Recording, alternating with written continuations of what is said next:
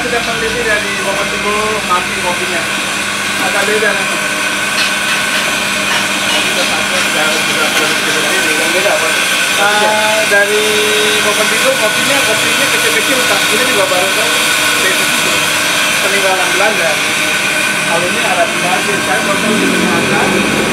Tapi kita sudah apa apa kopi yang cahaya kopinya.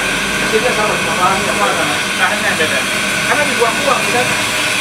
Makanya kita kalau tidak nanti kita muncul, kita menawarkan supaya inovasi dalam ini sama kopi-kopi yang ada ini kita bisa. Ya, wah tidak harus dijual sudah. Karena buah merah, kalau itu apa? Buah merah. Ini alatnya tuh.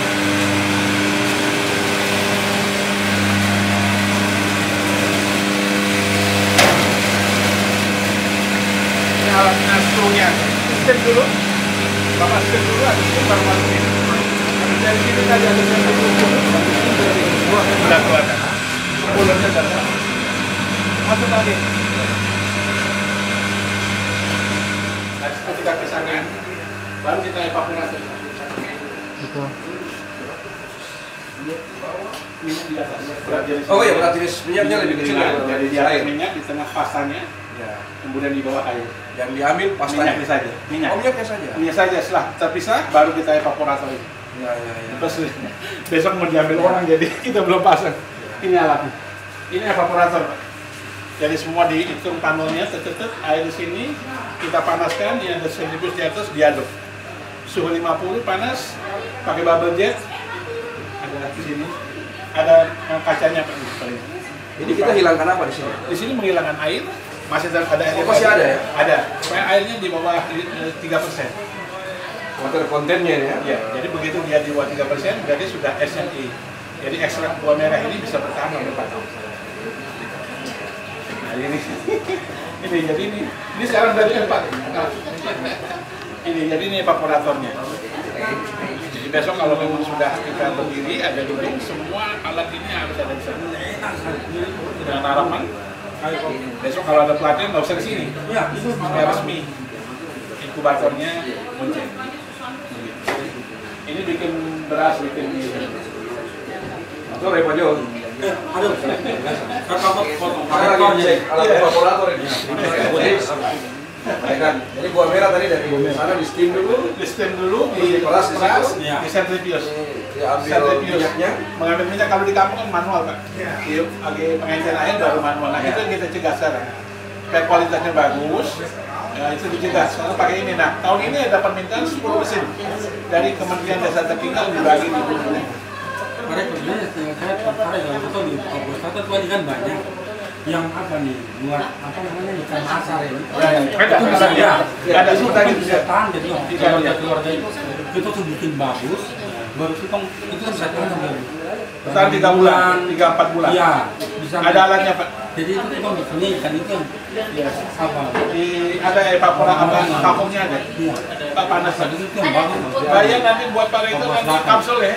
Ya. Kapsul madu dengan sampare. Jadi Bapak Ibu ini mesin-mesin ini Made desain sendiri, lalu dicetak sendiri di sini, Iya. lalu dioperasikan Operasikan sendiri. sendiri, melatih sendiri. Kita di teknik itu, ini orang punya pekerjaan mesin. Iya iya. Orang punya anak-anak itu diajar untuk mendesain Iya.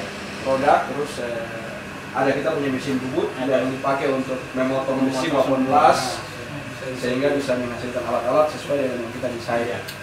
Dan untuk menghasilkan itu bisa kita coba berapa kali, tidak harus Tahun sekali. ini ada dua mahasiswa pak, bikin alat eh, pemipil melepas umbi kacang tanah Ya. dengan eh, bikin keripik. Mari kita turun. Mari pak. Kita punya mesin besar tuh, menurut beliau bagus sekali, bisa dipakai. Kan tinggal potong apa jangan. itu baru saya satu kegiatan tadi saya lupa berikan apa itu ya Apa Pak? yang butuh mesin Ya cuma itu yang potong bila lipat. sudah lihat kan boleh bisa teman ibu itu saya begini Lagi kita parut dulu.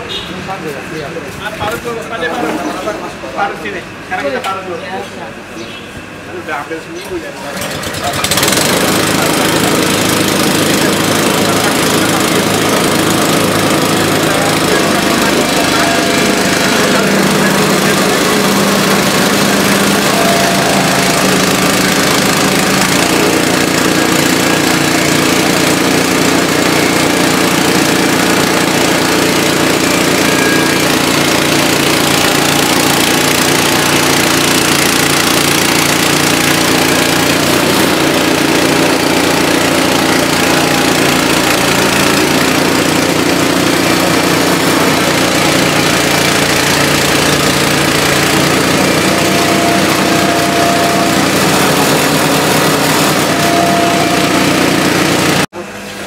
Sagu ini biasa kalau orang manual di kampung kan lo panggur Oh, sagu iya. Nah ini sudah panggurnya nih. Ini pangkurnya. Kasih hancur dulu. Terus kalau lo sudah panggur kan nanti tangan. dicampur dengan air di peras no? Nah perasnya ini. Kerasnya ini, separatornya kita buat. Ya. Ini generasi kelima separator ini. Ini yang generasi kelima sampai dua Dari tiga sini sudah dari sini sudah jadi sagu, Sagu basah. tapi masih basah. Orang masih kering gitu di sini. Nanti kita rancang ini, ini ada parutannya Pak, parutan ini ada dorongnya. Kalau sagu tetap kita parut semua, kita jatuhkan. Jadi dari sini Kalau ke tapioka, situ. nanti ambil mesin dua atau. Ini mesinnya dua fungsi Pak. Bisa singkong, bisa ubi jalan, bisa sagu. Kalau singkong dengan ubi jalan, mata parutnya khusus. Jadi sampai di sini ada baling-balingnya Pak. Ini kan ada pipa nih Pak. Ini ada pipa.